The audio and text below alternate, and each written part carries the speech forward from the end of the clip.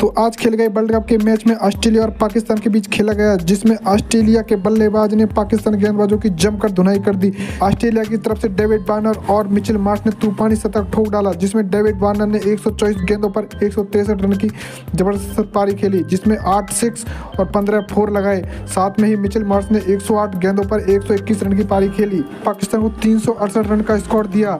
अब पाकिस्तान को जीतने के लिए तीन सौ अड़सठ रन की आवश्यकता है। पाकिस्तान की तरफ़ से साइंस अफरीदी ने पाँच विकेट झटके और पाकिस्तान को मैच में वापसी करवाई। दोस्तों, वीडियो अच्छी लगे तो चैनल को लाइक करें, सब्सक्राइब करें। धन्यवाद।